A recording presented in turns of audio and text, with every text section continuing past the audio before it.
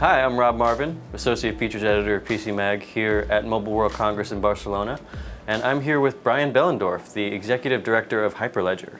We're going to tell you all about what Hyperledger is and what it does. But first, I wanted to start uh, on a bit of a higher level, um, you know, before we dig deep, um, just to talk about, uh, I guess, you know, for, for the general public out there, what do you find so exciting about blockchain? So for many of us who've been on the internet for a long time, uh, there has been this creeping sense for, you know, from about 2005 onwards, that the increasing adoption of the, of the internet and digital processes by, by businesses, by society, by government, was going to lead to more centralization rather than decentralization, right? right? Uh, uh, and, and, and that we'd kind of, as technologists, inadvertently made it really easy to build 800-pound gorillas at the center of markets, at the center of communication systems, even if the internet originally came from a very cooperative, peer-to-peer, -peer, decentralized place. Exactly. And so I, I, think there was an intuition amongst many of us that you know it wasn't just a, that that open APIs weren't going to be enough. Even open source software wasn't enough to kind of return us to uh, try to try to make it easier and easier to get back to that. And I and, and there was some real hope with the Bitcoin paper when that came out in 2009 that maybe we could start to talk about economic models for decentralizing it as well and and new tooling uh, to decentralize. And um, some of us might not have gotten into the idea of you know, a, a speculative financial instrument at the heart of the reinvention of the web. Uh, others thought that uh, maybe proof of work and the consumption of CPU power was, was kind of an unfortunate architecture, right? Uh, and so lots of people started to think, are there alternatives to doing this, right? Right. Uh, and, and so and we're separating we're separating cryptocurrency from blockchain. Well, you know, uh, really to say cryptocurrencies are an application of blockchain technology, much like a website is an application of the web, right? So, so, uh, so in exploring these other areas, and I started to come back to this in about 2015, uh, I realized, hey, there's these other consensus mechanisms than proof of work. There's other smart contract languages one might use, and ways to build these systems uh, without needing a token to drive those consensus mechanisms.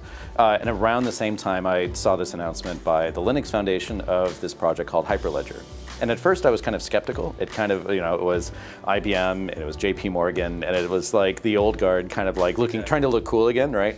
Um, but, uh, but I resonated with it and I spent some time uh, attending some of the developer meetings and said, how can I help? Uh, and, and Jim Zemlin, the executive director of the Linux Foundation, said, well, we could use somebody who could help run this. So I said, sure, why not? Right. Yeah, because you came from uh, Apache and a lot of other open, you know, the, the open source boom. Um, you know. Well, this is the first time I've had a full time job doing what I do, uh, doing uh, something in open source. Um, uh, most of the time, it's been as a volunteer, right, uh, uh, or trying to figure out how to map that into enterprise scenarios, such as the company CollabNet that I helped run for eight years, right. Um, but I have a, a, rather rather tortuous kind of career path. You know, I worked in D.C. for a few years. I worked in the White House, um, and then I worked for the World Economic Forum Forum. Chief Technology Officer there. And then I was doing venture capital just before coming to this. So lots of different things, but all of them kind of lending me towards this kind of both concern about centralization, but still a fundamental belief in open source software, open systems, and now distributed ledgers as a way to, to, to, to fix some thorny problems in the world. Yeah. So all of that, of course, would lead you to blockchain. Um, so I guess, um, what do you see as kind of the greatest you know, immutable decentralized potential for this kind of technology? I mean, there's there's a lot, but I'd say the thing, one of the things that gets me most excited right now is the potential to reinvent how digital identity works through decentralized ledgers, right? Through distributed ledgers. Um, there's a, a, concept that's been floating around the digital ID space for a long time called self-sovereign ID, sometimes called user-centric uh, digital ID. Right. So ex explain how that works. Sure. And it, the, the, at a high level, you know, the difference between this and say login with Facebook, login in tw with Twitter, is that your identity shouldn't be encoded as you know, your entry as a row in a database somewhere but in one of these big companies, but instead something very indigenous to you, right? A wallet of some sort, keyed off of your, your biometrics, keyed off of passwords, keyed off perhaps of people who could recognize you if they were ever asked, is this really Brian, et cetera. Um, and then within that, the, you know, your keys that you use to manage that, you get attestations, you get claims. You know, here's uh, a, uh, Facebook might claim this, this guy's a Facebook user, so you can use this to log in elsewhere. Or a US government might say, here's your passport, right? And your passport is simply a claim that this person with this ID is a US citizen and can travel, right? right. So pulling together a passport that has all these claims and then being able to present these claims to prove it is the, the reinvention model. I can use that to track uh, personal information as well and who I've shared that personal information with and to update that and even revoke access to that personal information. Um, and so this is a very different way of looking at this. And Hyperledger has a project called Hyperledger Indy, which is an implementation of self-sovereign ID. Uh, it's something we're working on with a number of different orgs to implement, but it's already being put into production services this, in production service this year. And the societal implications of that kind of ubiquitous identity, that you know, it gives users more control over kind of you know. If we do it right, it gives right. them more control. And and as technologists, you know, there's a, a, a lot that we have to learn from when it comes to privacy by design. Often we're very eager to just start building things and assume that that the uh, privacy of data are trivial? Well, they're really high. And the general data protection regulations, this ruling that is uh, coming to effect in May in the European Union, but will really affect every business, is kind of a peasants with pitchforks storming the Bastille moment in the digital ID space because it's the citizens saying, we are sick of having companies uh, presume that they can just do whatever they want with our data. This is an approach that it gives the individual uh, agency to be able to know who their data is shared with and decide when it can be shared and to revoke that access at some point in the future. Mm-hmm. And uh, all right, so I want to get into Hyperledger specifically um, for a minute. Um, and at, for, as a primer for those who don't know, can you kind of explain what the standardization effort is and kind of, I guess, um, the cross-industry approach to how you're doing it? So the Linux Foundation has served as a home for collaborative development uh, of two kinds, or actually collaborative development between software engineers working together originally on the Linux operating system and now for over 50 different projects like Hyperledger, projects in cloud computing, software-defined networking, automotive, uh, uh, the, the Core Infrastructure Initiative, which is a security project.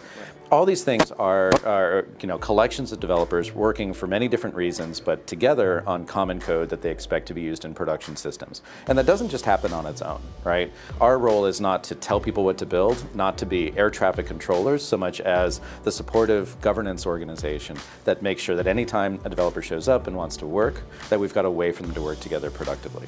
The second level is between businesses, um, helping them understand how to build a business model on top of open source software, how to see value from doing that, and how to work with each other without killing each other, right? So uh, that model, that template turns out to be applicable applicable to a lot of different technology domains. And so at Hyperledger, that's what we're trying to do. We're trying to say, okay, in the field of distributed ledgers and smart contract systems, there's a lot to figure out. A lot of, uh, this is, this is kind of a new, new, new, new terrain compared to, say, operating systems, which have been around for a long time, right? Um, and it's, we have to kind of map that landscape. And so we've got nine different technology projects. Um, the identity project I mentioned is one. We have two others that have been, are now in production use, uh, Hyperledger Fabric and Hyperledger Ledger Sawtooth, right? Um, uh, and a bunch of others as well. So, uh, uh, and, and all the goal is with all of them, get them to production releases, get the devs able to work together, and help the 200 and odd businesses and other organizations that have joined the Hyperledger effort to understand how to incorporate it into their products and services and do something interesting. And I want to illustrate that a little bit. You mentioned, you know, 200 plus members across um, healthcare, finance, payments, tech, um, you know, a broad number of use cases. You know, what are some of the more interesting ways that you've seen those members, you know, collaborate and, uh, you know, work together in maybe ways you didn't expect?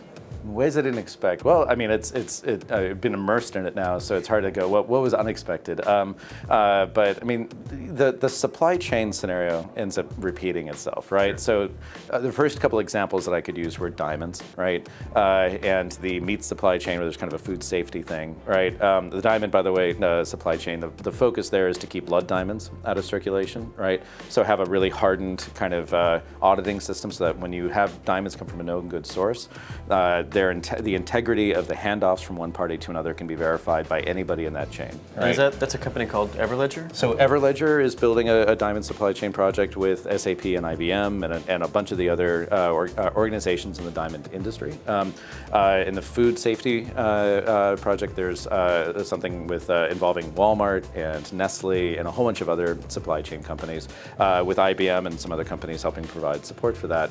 Um, but there are what's interesting is a lot of these uh, be also become the basis for trade finance. They become the basis of know your customer uh, kinds of, of uh, applications. They become like these generative platforms because once you have that data in a computable form, uh, uh, it can be used for lots of different things, right? So, um, so I guess what's surprising is how these things start as these very subtle use cases, right? Like, okay, let's stop the flow of uh, conflict of blood diamonds, right? But they become a platform for so much more. Yeah, I think that shows the, the power of, I guess, kind of the, the frameworks that you're building that can be applied in so many different ways. It shows the power of data, for sure, yeah. And, and reliable data, right? We're not a big data tool. That's, I like to tell people we're a small data tool. We're about like the most important data. Who owns what? Right? Uh, or, or what commitments have been made. I've promised to send you $10,000 if it rains, you know, uh, uh, and floods, you know, uh, uh, in, a, in a certain place, right? That's like an a weather insurance contract, right?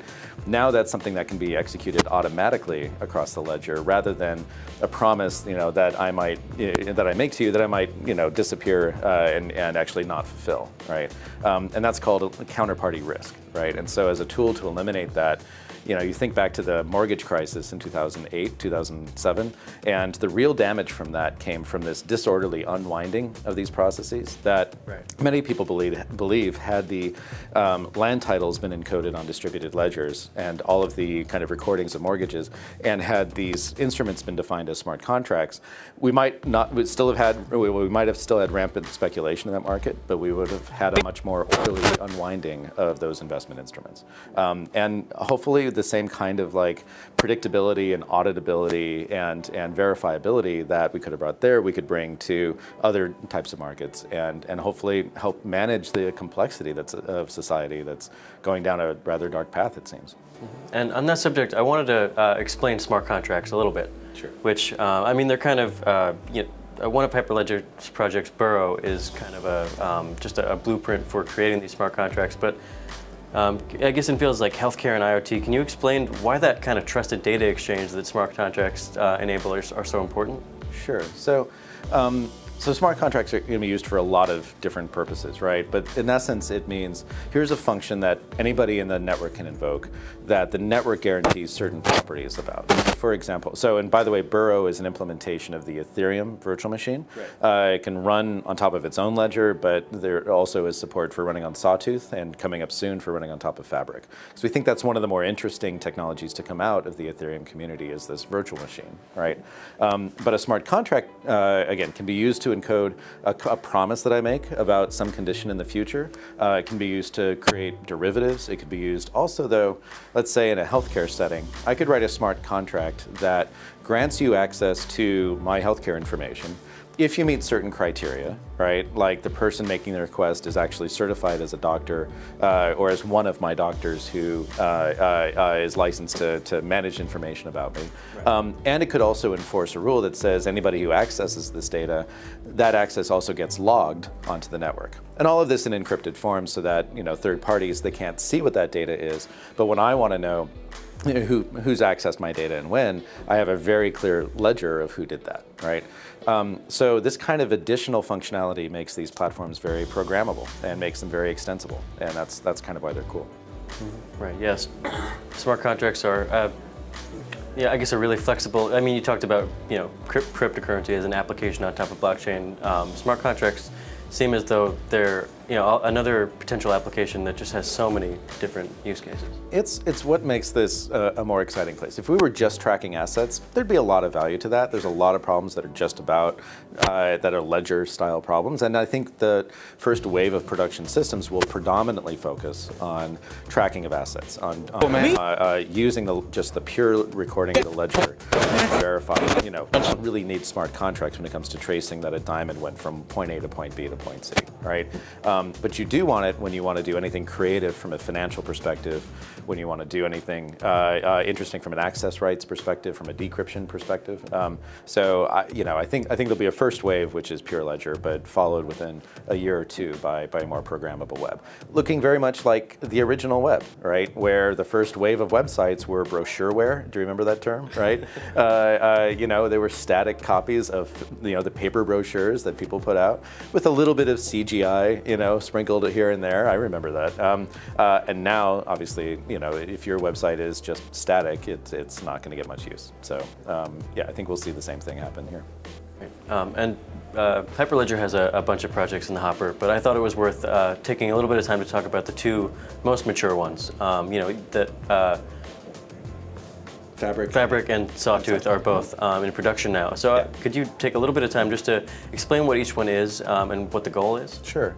So uh, first off, I should mention, you know, we took the perspective at Hyperledger that there isn't one true architecture that everybody needs to fall in line with. There's some really mature thinking going on in the Fabric community that's based on years of distributed systems work that had happened inside of companies like IBM uh, before Hyperledger even began. Uh, and it kind of came from a, a history that those companies that had with transaction systems, with, with large scale, you know, mainframes even, right? You know, understanding what you really need to coordinate processes between multiple parties, right? But kind of coming from a very rich databasey kind of world where finality was really important, where um, control over the end result was really important, control over the ledger was important.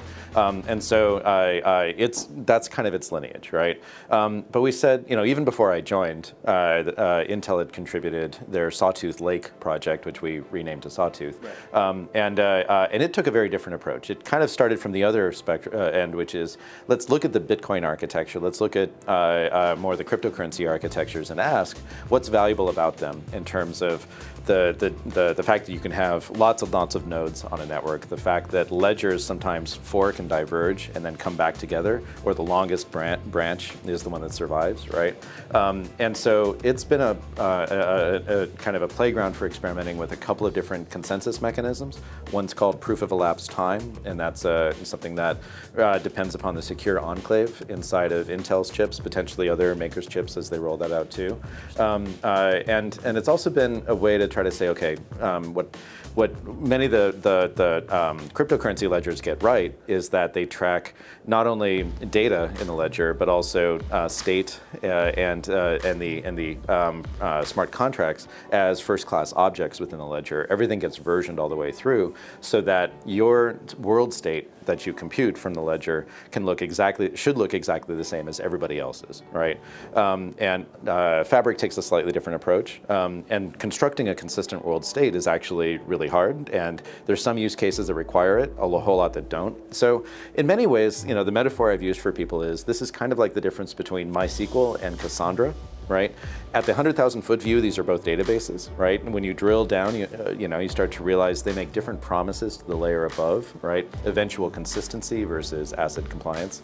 Um, and so much like those differences, you know, we still don't know what's going to happen when developers start playing with this and deploying it and seeing where one meets their needs better than the other. But I'm confident they'll come up with uh, that kind of story. And at some point, like with all the other projects we have at Hyperledger, if there's good ideas but they just don't get traction, then bringing those into other projects that do get traction is something our model allows. Everything's under the same license, all the development is public. The developers build you know, bridges between different projects around architecture and, and personnel and that sort of thing. So um, we think this more organic approach to doing product management, you know, so to speak, uh, is perhaps better than if somebody was anointed as the architect and said, here's the one true path. Right. So I guess in, through that lens of or, you know organic interoperability and the, the flexibility that you're building into all these processes, um, you know, what do you see as the future of blockchain? Uh, I guess in stages. First in the in this next couple years, and then kind of the the longer big picture view.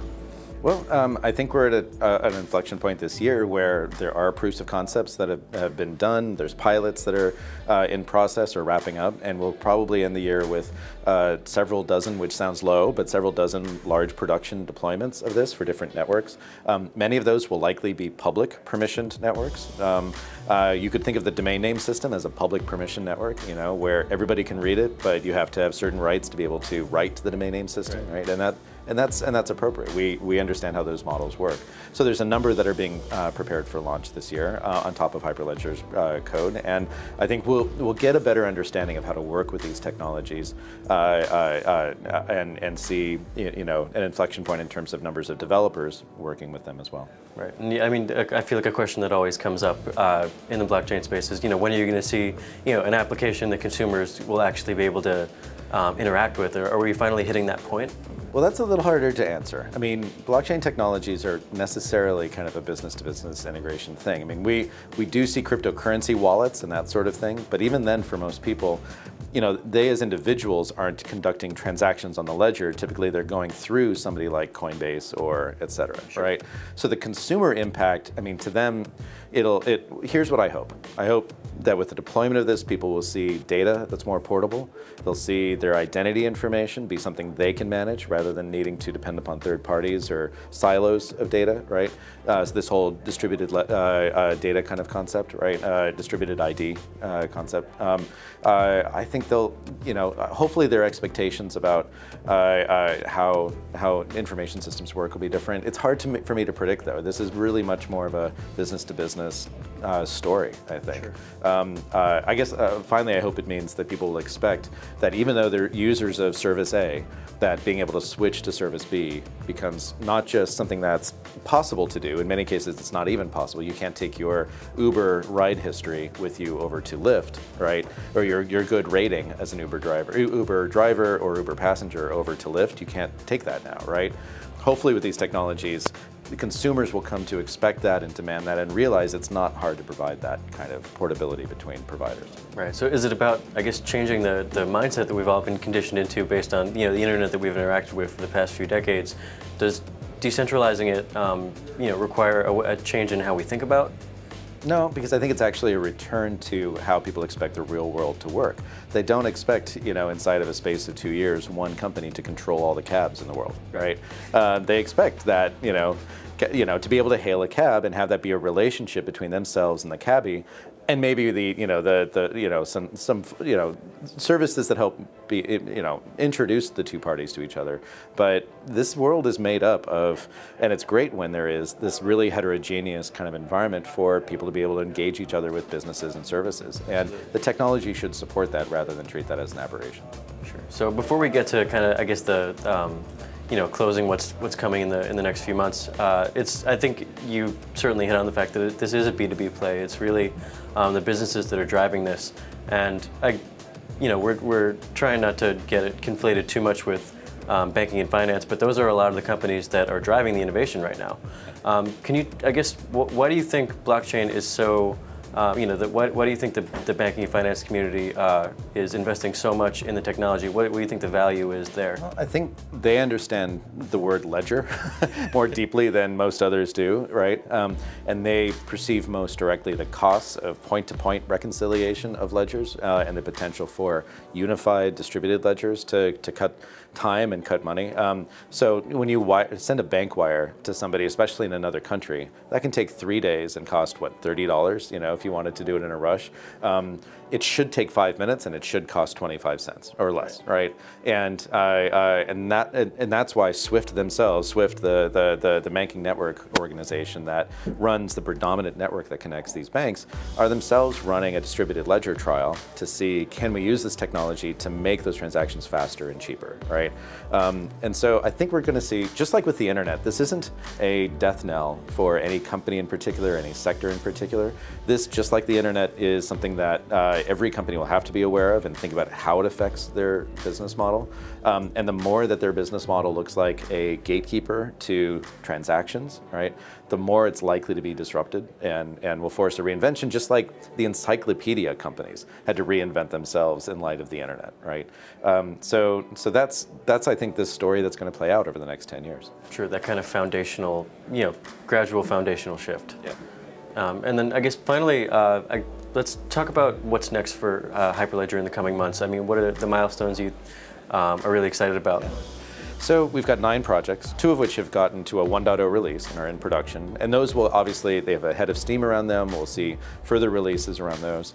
Um, I'm eager to get as many of the other projects to that 1.0 release as we can. Uh, and looks like we'll have at least three or four this year that'll do that. Um, and those are, that's an, it might sound minor, it's like a 1.0, what are our expectations? For us, 1.0 is a signal that the developers are comfortable with you using this software in production systems with real digital assets. A pretty high bar, right? So, um, but that's, that's our goal, is to take this stuff and pull it down a pipeline to get it into use. Um, we'll probably see more projects added. Uh, I don't really have a, a crystal ball. It's kind of not up to me I mean, we, uh, we wait around for projects to be proposed to us by the people who've written the code, right? Um, we're not like a, a, Microsoft or a Google, you know, where we say, there's the direction we're heading in and let's uh, attack. We are much more organic. So We've had some people show up and say we'd like to do a project uh, in, in smart contracts, do a project in payment networks, do a project in different things. If, uh, and the, uh, it's actually a public process run by the technical steering committee to decide which of those projects get adopted and brought into the organization. So uh, if anyone's interested in following that, there's a public mailing list they can see uh, this stream of proposals come in on. And are there, uh, I guess, pie in the sky applications of, of I mean, uh, applications for blockchain technology that you'd love to see a project come in for that, that um, well, I think I think uh, um, certainly certainly in the payments world, uh, we think there's some work to do. I mean, you can tokenize anything you want on top of Fabric or on top of Sawtooth, but I think there's some interesting innovation happening um, that we could learn from the cryptocurrency world, but doesn't necessarily involve proof of work. Um, so interesting stuff happening there. I think. Uh, I think getting into more sector-specific things too, like what would it mean to do a healthcare records uh, ledger, right? Something that allows patients to be at the center of health information exchange, right? Um, what, you know, what's a collection of smart contracts and business logic and maybe even end user interfaces that would make that possible? Sure, right? and does that tie back into uh, identity as well? It does, it does. And in fact, I think a really big thing that we could do is, I'm, i even wonder if we could take that on or if it, it has to be something, somebody like Mozilla, is a standardized wallet, right? To this world, the wallet is what the browser was to the web right? And it needs, we need a wallet that acts as your agent, acts as your proxy, not just something given to you by a website that you use, right? Um, because this is something that should form a long-term relationship with you. Somebody should build one. It has got to be open source. It's got to be multi-vendor, multi-stakeholder. Um, and you know, there's lots of ideas out there about how to get there. Um, but that that that's perhaps more the the, the moonshot. right. Well, maybe we'll see that wallet that you actually control. But that'd be great. Yep for now. Uh, I guess there's going to be a lot more uh, blockchain innovation to come in 2018. Um, thanks so much for taking the time, Brian. My pleasure.